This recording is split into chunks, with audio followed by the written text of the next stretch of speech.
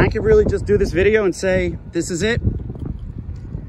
But I'm not because you, I want everybody to understand what I mean by this is it.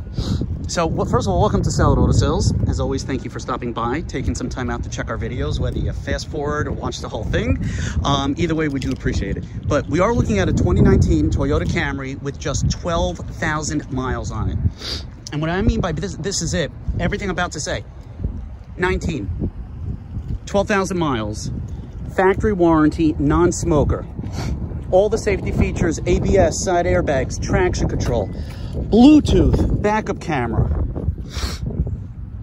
driver's side power seat, huge trunk, alloy wheels, touchscreen radio, entertainment system.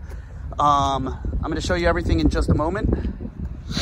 But you also have on this two features that a lot of other cars don't have, which is early lane departure and brake assist.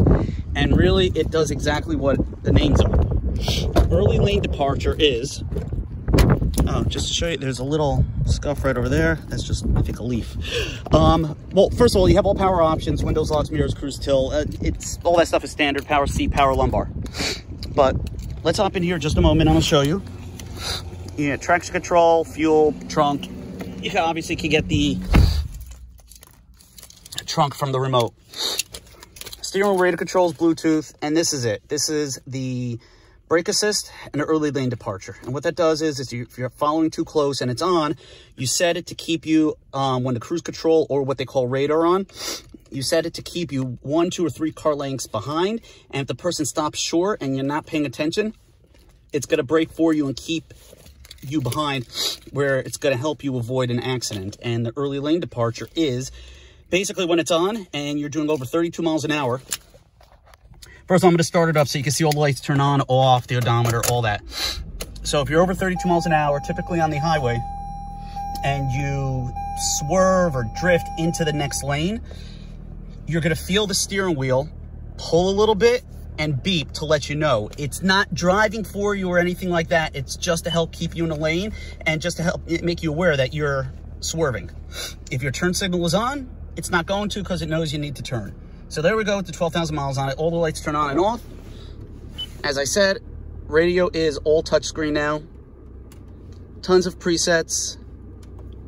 Tons of different options. So simple to use. Um, right over here, USB and auxiliary port. It does have Apple CarPlay. So if you have an iPhone, and you hook it up, you'll be able to use your maps and a lot of other stuff on it that's really cool and definitely something that a lot of people want. And then once you put it into reverse, you have your backup camera. Outlets over there to charge up your phone. Lots of storage, cup holders, cup holders. You might be able to fit more cups in here than people.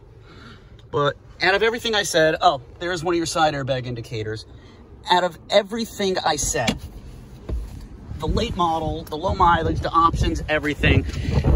still covered under the warranty and it still actually smells a little bit like a new car. So you definitely want to grab it up so you can soak in the rest of that new car smell without paying the new car price. And there you have it.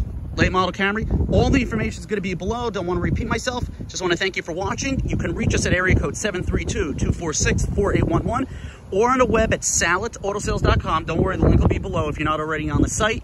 And there you can ch uh, chat with us and text us through WhatsApp, view the Carfax report, and everything else. Thank you for watching. We'll see you soon.